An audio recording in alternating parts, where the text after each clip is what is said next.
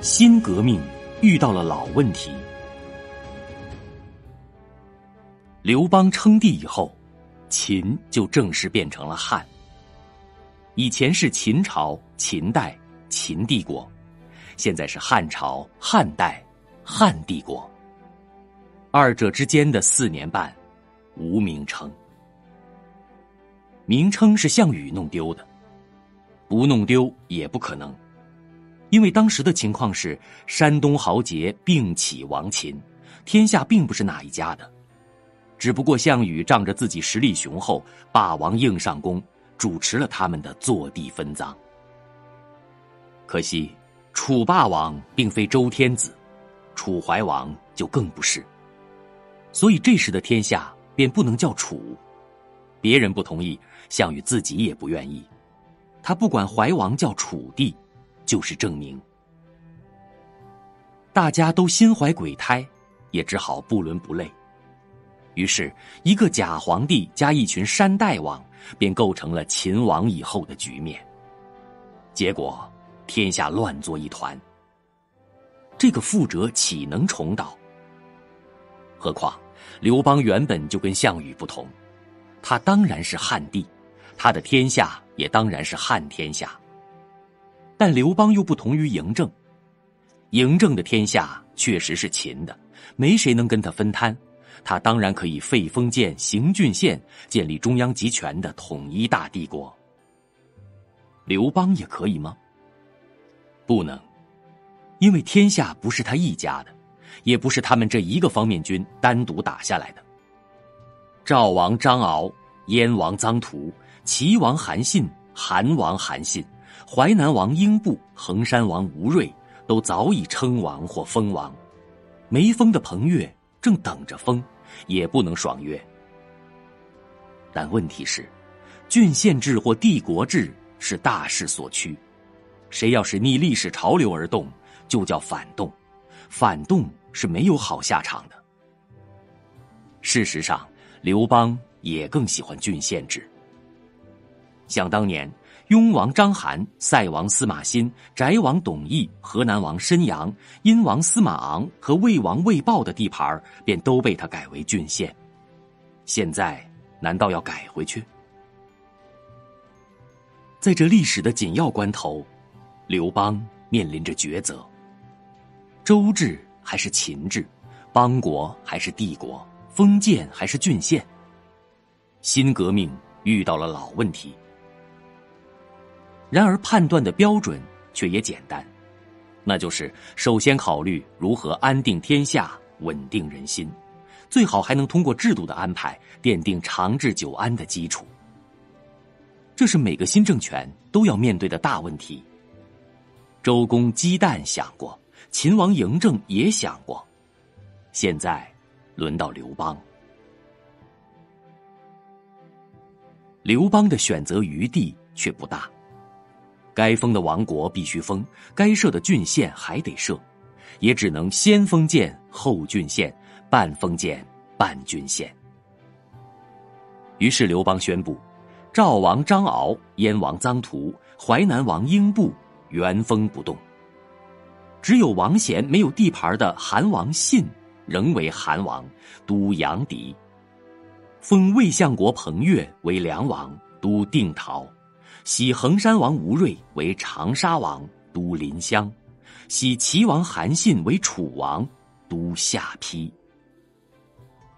这七个全是异姓王，没有一个是刘邦的子弟。他的部下也不封王，只封侯。侯与王差别很大，王是诸侯，对王国享有治权；侯是列侯，对封区只有财权。也就是户数定额的赋税徭役，一般千户，最多上万，叫万户侯。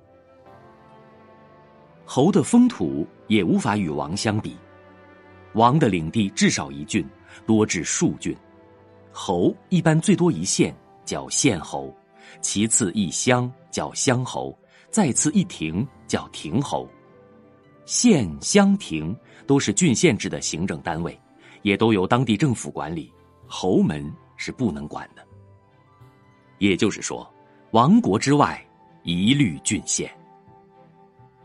这就是刘邦创造的半封建制，也叫郡国制。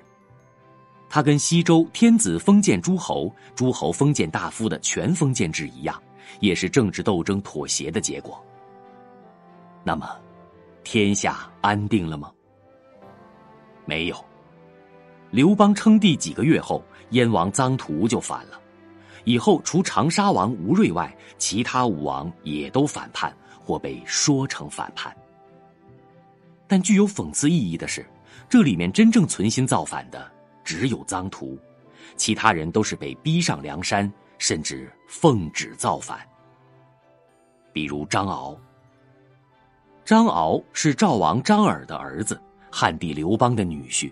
鲁元公主的丈夫，他对自己的皇帝和岳父极尽臣子之忠，刘邦对他却十分无礼，甚至开口就骂。这就引起了赵相灌高等人的不满，他们去见张敖，鼓动他造反。赵王张敖死活不干，急得手指头都咬出血来。灌高等人决定自己动手，并承担一切后果。汉八年冬。刘邦平叛，路过赵国，灌高他们便准备在博人实施谋杀，但因为刘邦突然改变行程，未遂。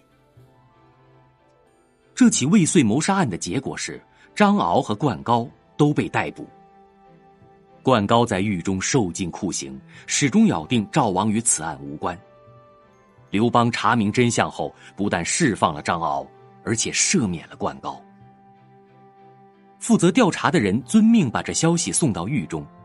灌高问：“我的王真被释放了吗？”来人说：“是，皇上敬重足下是条汉子，也赦免足下。”灌高却说：“臣之所以体无完肤，仍然苟活，就因为……”害怕说不清赵王的冤情，赵王出狱，臣的责任已尽。身为人臣而负篡逆之名，哪有脸面侍奉皇上？于是，灌高自杀。张敖总算死里逃生，但同时他也失去了王位和王国。刘邦把他贬为侯爵，赵王则换成了刘邦宠姬戚夫人的儿子如意。这当然很冤，却还不是最冤的。最冤的是彭越。彭越根本就没想造反，只不过在刘邦御驾亲征平息叛乱时称病不肯从军。彭越怎么想的不清楚，也许他确实是累了，也许他不过想保存实力。但这顶多也只能算消极怠工，却被以谋反的罪名逮捕。而且刘邦不但诛灭彭越三族，还将他剁成肉酱，赐给诸侯。这岂非丧心病狂？好像不是。